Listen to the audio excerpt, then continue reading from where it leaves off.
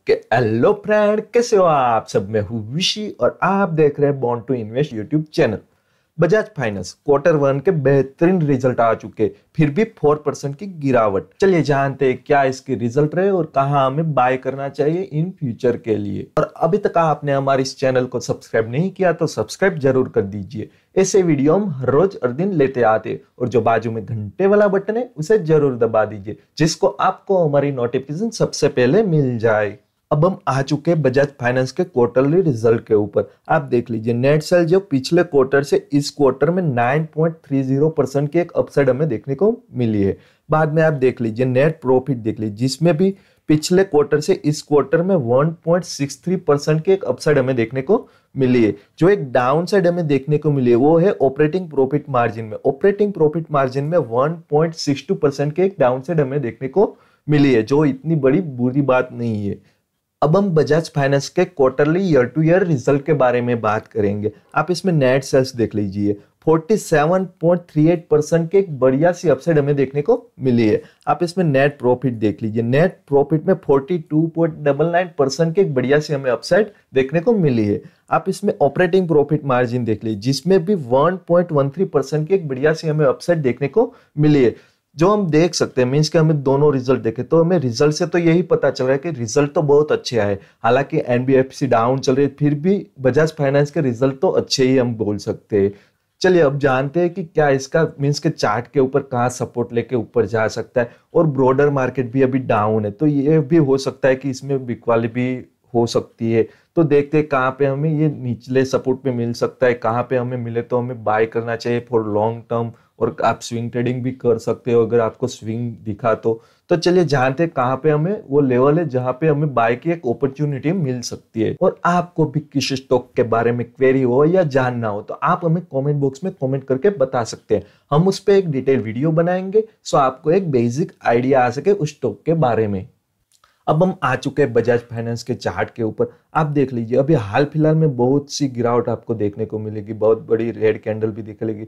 ये इधर फाइव से सेवन मीन्स के एट परसेंट जितना था बाद में इधर भी बहुत है। आज मीन्स के चार परसेंट डाउन साइड गया है। आज तो उसका रिज़ल्ट अच्छा है या फिर भी डाउन साइड गया है तो देखते क्या होता है आगे।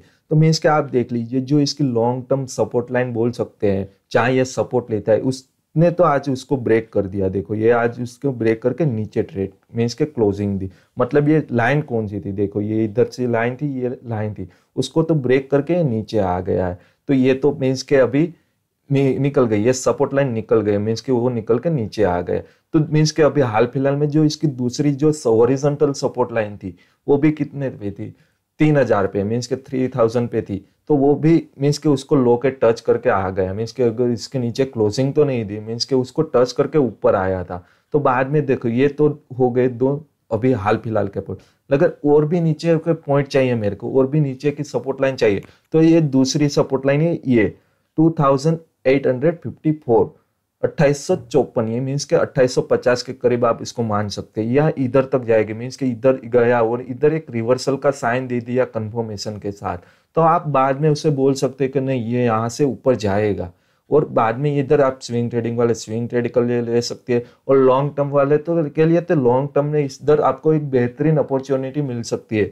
अगर ये अट्ठाईस और साढ़े के करीब आ चुका है अब हम इसमें मूविंग एवरेज और आर एस आई की स्थिति जान लेते तो आप देख लीजिए मूविंग एवरेज जो 50 और 100 उसको तो दोनों को ब्रेक कर दिया है। अभी बचती कौन सी है? 200 की मूविंग लाइन मीन्स के 200 डेज़ की मूविंग एवरेज की लाइन हमारी जो सपोर्ट लाइन है और ये मूविंग एवरेज है, वो दोनों पास में ही है। तो हो सकता है कि ये इधर भी सपोर्ट लेके ऊपर जाए, लेकिन क्या है कि पहले आप वेट कर लो उसको नीचे आने दो, देखो कि ये इधर सपोर्ट लेने की कोशिश करता है या इसको भी ब्रेक करके नीचे चला जाता है। इधर सपोर्ट लेने की कोशिश मतलब इधर कोई ऐसा साइन बताएगा जिससे ये रिवर्सल हो।